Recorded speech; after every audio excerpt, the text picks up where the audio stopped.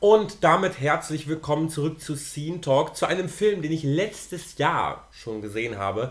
Und er kommt jetzt erst in die deutschen Kinos mit äh, ähm, Julia, äh, Julianne Moore, mit Charles Melton und mit Natalie Portman in den Hauptrollen. Das Rede ist von May December und wie ich den fand, verrate ich euch nach dem Trailer. Okay, settle. Kimmy, yeah. uh.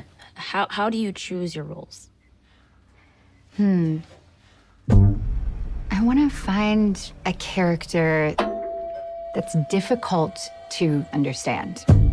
Why are they like this? Were they born or were they made? I thought you were taller. You look you look taller on television, but we're basically the same size. Thank you for doing this. Well, I want you to tell the story right, don't I? They're sweet, aren't they? We've been together for almost 24 years now. It's hard to trust that you're going to represent things as they were. What would make a 36 year old woman have an affair with a seventh grader? Mm. So good.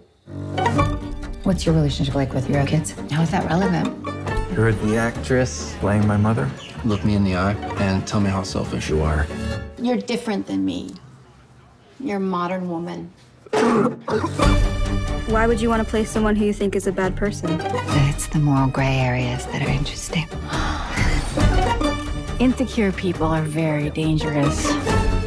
I have an idea of what's sneaking around with you. Must have felt like I shouldn't have said that. No worries.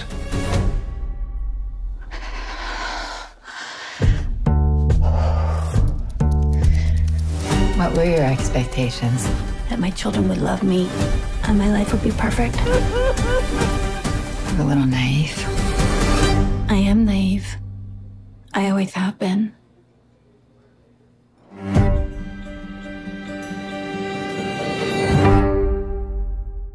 In May December geht es um Gracie Appleton Yu und ihr Ehemann Joe, gespielt von Julianne Moore und Charlton, äh, Charles Melton, die sich gerade aktuell darauf vorbereiten, auf den Highschool-Abschluss ihrer beiden Söhne, ihrer Zwillinge.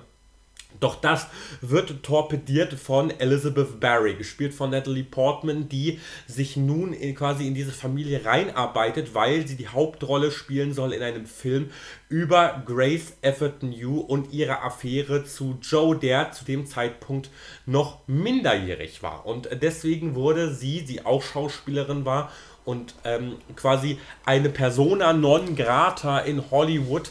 Und äh, ja, es wird zu einer Geschichte ähm, von Intrigen, von Beziehungen, von einer äh, nicht intakten Beziehung, von einer Beziehung, die auch so hätte vielleicht nie stattfinden sollen und von Rissen, die sich immer weiter durch diese Beziehung ziehen und einer Natalie Portman, die quasi wie ein Keil dazwischen geschoben wird.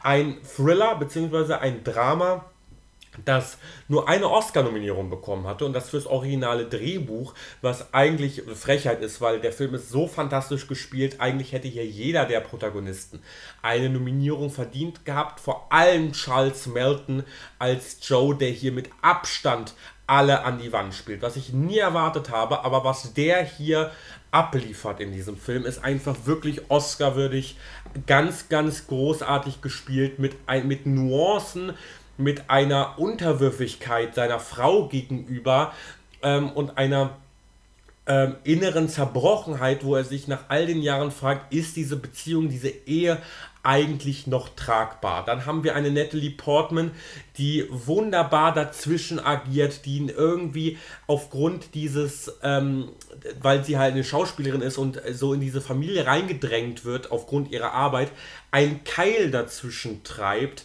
was äh, immer mehr Risse in diese vermeintlich intakte Beziehung bringt. Und das ist so wunderbar durchdacht, auch geschrieben, weil man wirklich zu jedem Charakter einen Bezug bekommt und man zu jedem Charakter versteht, warum diese jetzt so handeln, wie sie nun mal auch handeln und wie sie nach und nach an dieser Situation zerbrechen.